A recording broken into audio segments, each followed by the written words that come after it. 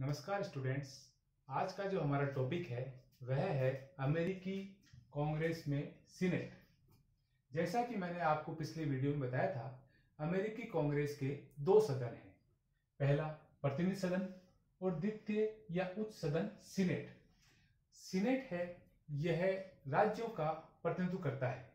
चाहे राज्य छोटा हो या बड़ा, सभी राज्यों को सीनेट में दो प्रतिनिधि भेजने का अधिकार है।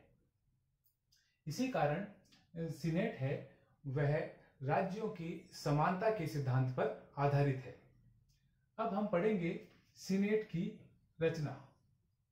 जैसा कि मैंने आपको बताया, सीनेट है, वह अमेरिका में राज्यों का प्रतिनिधित्व करता है और प्रत्येक राज्य, चाहे वह छोटा हो या बड़ा अब अपनी तरफ़ से सीनेट में दो प्रतिनिधि भेजता है।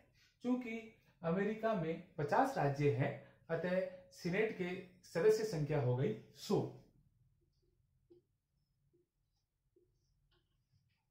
सीनेट एक स्थायी सदन है, जिसकी, जिसके सदस्यों का कार्यकाल छह वर्ष है।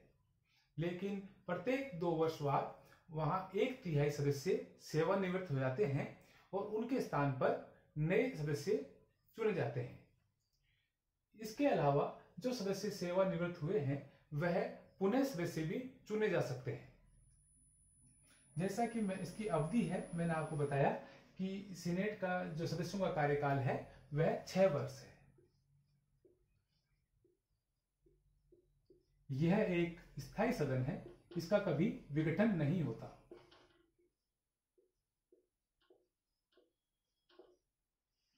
अब हम पढ़ेंगे सीनेट के कार्य और शक्तियाँ।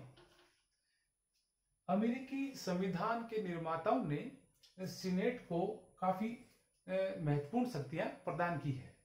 जैसा कि हम जानते हैं, विश्व के अधिकांश जो देश हैं, वहाँ पे जो द्वितीय या उच्च सदन होता है, उसके पास इतनी शक्तियाँ नहीं होती।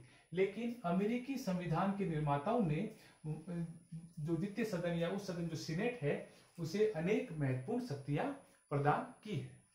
पहली शक्ति है उसकी विधायी या जिसे हम कहेंगे व्यवस्थापन संबंधी शक्तियाँ। व्यवस्थापन संबंधी शक्तियों में सीनेट में अपन जब हम साधारण विधेयक की बात करते हैं तो कोई भी साधारण विधेयक तब तक पारित नहीं हो सकता जब तक कि उसे प्रतिनिधि सभा के अलावा सीनेट से भी पारित ना कर दिया जाए।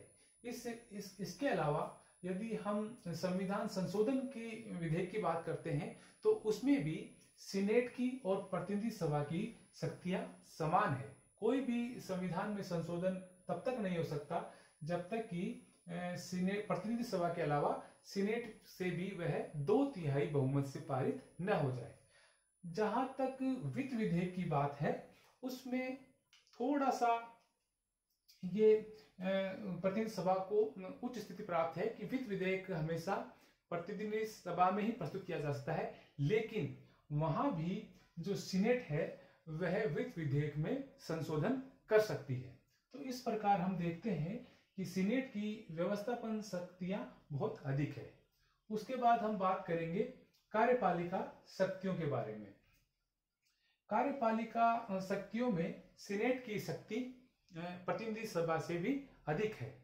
इसकी जो पहली महत्वपूर्ण शक्ति वह यह है कि राष्ट्रपति द्वारा विदेशों से जो भी संधियाँ की जाती है, उसके पुष्टिकरण के लिए सीनेट की स्वीकृति आवश्यक है।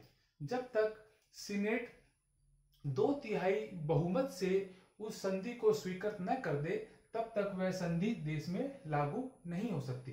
तो यह सीनेट की एक महत्वपूर्ण कार्यपालिका शक्ति है। दूसरी जो सीनेट की कार्यपालिका शक्ति वह यह है कि राष्ट्रपति द्वारा जो भी महत्वपूर्ण नियुक्तियाँ की जाती है, जैसे राष्ट्र राजदूत, न्यायाधीश या अन्य बड़े अधिकारी तो उनके, उनसे, उसके लिए भी राष्ट्रपति को सीनेट के परामर्श और स्वीकृति की आवश्यकता होती है। सीनेट इसे साधारण बहुमत से भी स्वीकृति दे सकती है। अब हम बात करते हैं तीसरी शक्ति की, वह है न्याय संबंधी शक्तियाँ। न्याय संबंधी शक्तियों में भी सीनेट को महत्वपूर्ण शक्ति प्राप्त है, जैसे कि महाभियोग की शक्ति। महाभियोग की प्रक्रिया चाहे वह राष्ट्रपति हो, उपराष्ट्रपति हो या अन्य कोई महत्वपूर्ण अधिकारी हो, उसके विरुद्ध जब महाभियोग की प्रक्रिया है, वह प्रतिनिधि सभा में ही लागू, चालू होती है। लेकिन उसकी जो जाँच करने का महत्वपूर्ण अधिकार है वह सीनेट को प्राप्त है।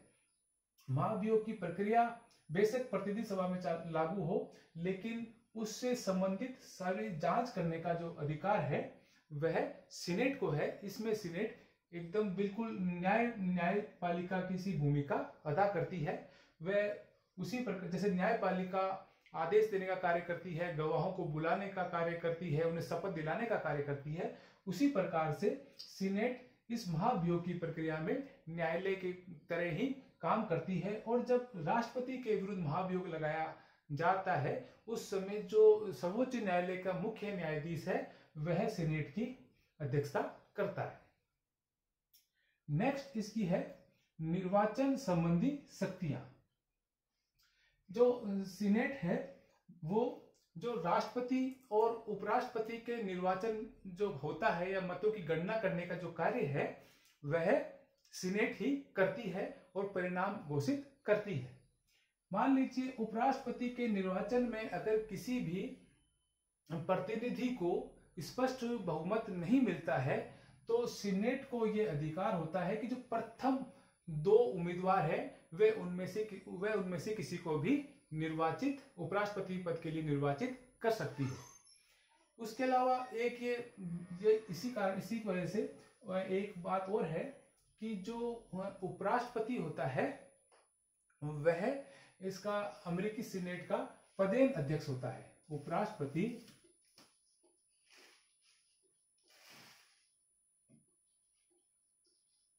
अमेरिकी सीनेट का पदेन अध्यक्ष होता है।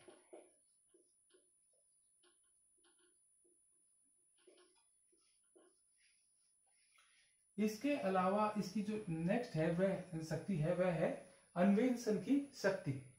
सीनेट को ये अधिकार है कि वह जो विभिन्न विभाग हैं, उनके खिलाफ अगर कोई शिकायत आती है तो उनकी शिकायतों को जाँच करने का कार्य भी सीनेट करती है और इस जाँच करने के आधार पर वह प्रशासन पर नियंत्रण रखने का कार्य करती है।